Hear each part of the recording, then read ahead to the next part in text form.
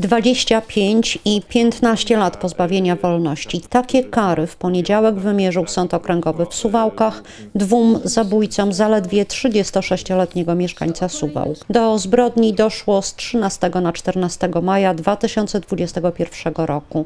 Karetkę do leżącego na chodniku mężczyzny wezwano tuż przed pierwszą w nocy. Mimo udzielenia pomocy medycznej 36-latek zmarł. Sprawą zajęli się suwalscy kryminalni, którzy szybko odkryli, że aż cztery kamery monitoringu zarejestrowały tragiczne w skutkach zdarzenie. Zebrane dowody, w tym analiza monitoringu, pozwoliły ustalić jego przebieg i wytypować podejrzanych.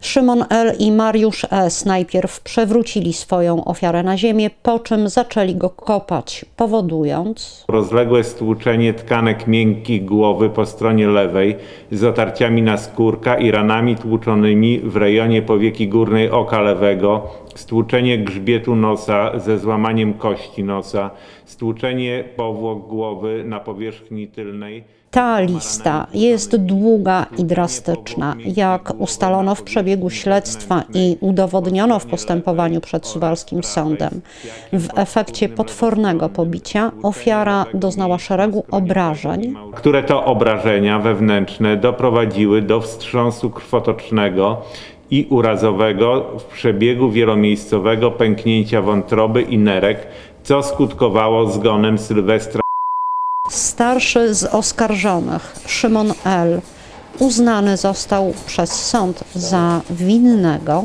popełnienia czynu zabronionego z artykułu 148 paragraf 1 i paragraf 3 kodeksu karnego w związku z artykułem 64 paragraf 1 kodeksu karnego i za to na mocy artykułu 148 paragraf 3 kodeksu karnego w związku z artykułem 64 paragraf 1 kodeksu karnego skazuje go na karę 25 lat pozbawienia wolności. Drugi z oskarżonych, Mariusz S., również został uznany za winnego śmierci. Wyrok, jaki usłyszał, jest istotnie łagodniejszy.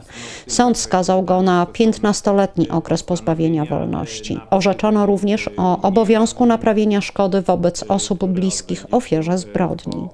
Prokurator domagał się znacznie surowszych kar, dożywocia i 25 lat więzienia, jednak sąd nie przychylił się do jego żądania.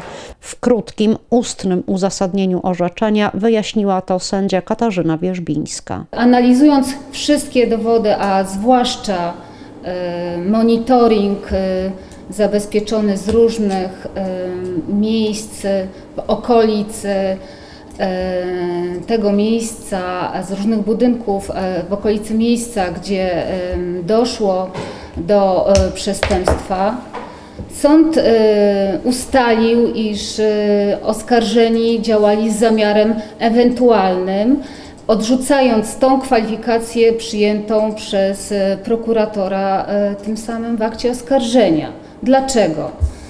W ocenie sądu fakt, że oskarżeni nie mieli żadnego ostrego narzędzia, że używali wyłącznie swoich nóg obutych w obuwie, kopali głównie w, w, klatkę piersiową, w brzuch pokrzywdzonego i właśnie te obrażenia były przyczyną zgonu, o czym co można było i należało ustalać przede wszystkim e, na podstawie opinii biegłych z zakresu medycyny sądowej.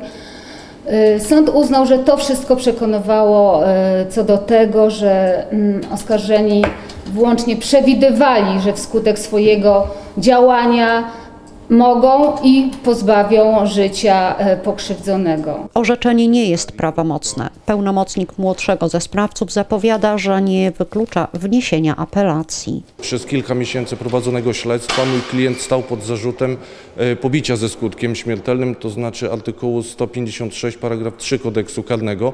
W trakcie prowadzonego postępowania przygotowawczego e, została mu zmieniona treść zarzutu. Klient postawiony miał zarzut zabójstwa taką też kwalifikację w tej chwili przyjął e, Sąd Okręgowy e, w Suwałkach z tą modyfikacją opisu czynu, że mój klient działał w zamiarze ewentualnym. Ja natomiast twierdzę w świetle zebranego materiału dowodowego, że e, powinien zostać, jeżeli sąd uznałby jego winę, oczywiście prawomocnie, jedynie za pobicie ze skutkiem śmiertelnym. W mojej ocenie jako obrońcy nic nie wskazuje na to, aby można by było przypisać tą kwalifikację, którą przyjął sąd okręgowy. Natomiast e, wszystko będzie przedmiotem e, ścisłej analizy mojej z klientem e, wspólnego jakby tutaj działania i porozumienia i o ostatecznej treści ewentualnej apelacji zadecydujemy wspólnie po otrzymaniu pisemnego uzasadnienia. Jak wskazuje obrońca, odnosząc się do przyjętego przez sąd zamiaru ewentualnego, Klient nie do końca godził się z tym, że może pozbawić drugą osobę e,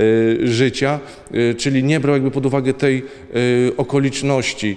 Są tutaj pewne argumenty świadczące rzeczywiście za takim e, stanowiskiem, które przedstawiłem e, sądowi e, okręgowemu w mojej mowie obrończej.